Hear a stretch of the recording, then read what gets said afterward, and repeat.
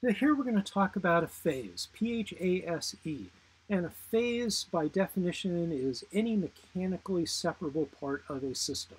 So it is, well, let's just write it here in words, a mechanically separable part of a system. Notice that we've introduced this other term here, system. What do we mean by that? Well, a system is any part of the universe that you're interested in. It could be the entire Earth or just the atmosphere or the oceans.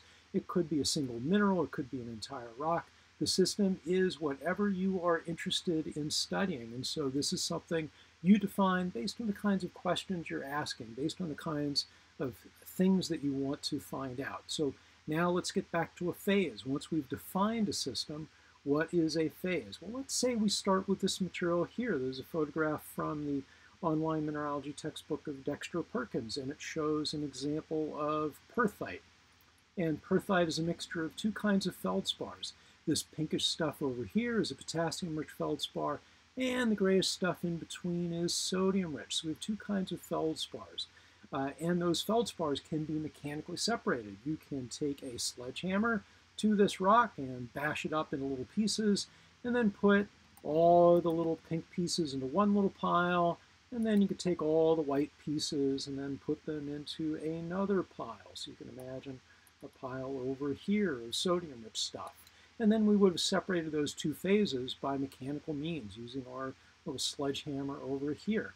And that would probably be about all we might be able to find in this sample here. I don't see anything else that's obvious. Here's another photo also from the online textbook of Dexter Perkins, but it shows a basaltic rock. And there are a couple of different phases. If your system happens to be stuff that came out of a volcano, then we'd be interested in a couple of things. There's this green material here, which is olivine. There's some more over there and there. It's scattered throughout the rock. That's one of the phases. So that stuff over there is the mineral olivine, which is right OL. Then there's this black stuff that forms the matrix, and that stuff looks like it is probably mostly glass. There might be other kinds of minerals. If we were to blow up this area here and magnify it, we might find other phases. For the time being, let's pretend that what we see is all that there is. So we have two phases, olivine and glass. Is there anything else? Well, yes, there is. We have these holes in the rock here that are called vesicles, and they at one time held gas. Well, we currently hold a gas too. The gas that they hold is air, but when this material was, uh, before it was erupted or immediately after it was erupted, those vesicles might have been filled with a combination of water vapor and CO2 that's now left the system. So in this case here, we would have three phases. Over here we had two phases for perthite, We'll use the Greek symbol phi for phase, so we had two phases over here. For a volcanologist interested in this stuff, we'd have three phases. The stuff that filled the vesicles.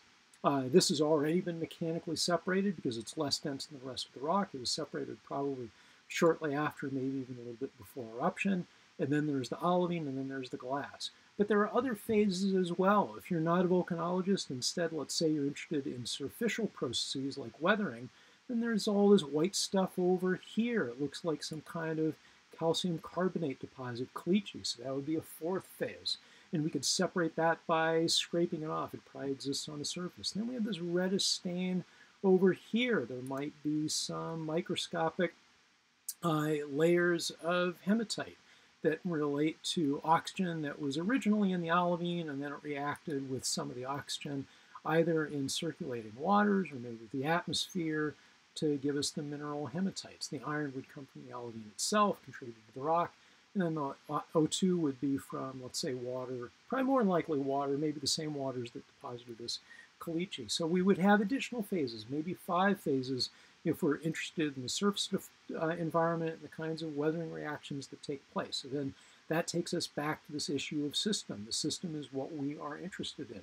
So uh, just to sum up, the system is that part of the universe that we're interested in, and depending on how you define that system, that'll affect the number of phases that you count.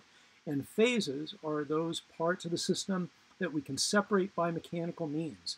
What we mean by that uh, as, as a corollary is that we don't need chemical reactions to break apart the break apart the materials and separate them out. So we can use simply color or hardness or other kinds of physical properties Uh, in this case, the example I gave is we bash stuff up with a hammer and then use that kind of mechanical means.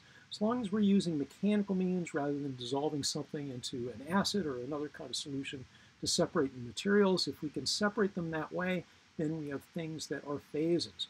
If we break phases down further, further, then we have what are called components, and we'll talk about components in a separate video.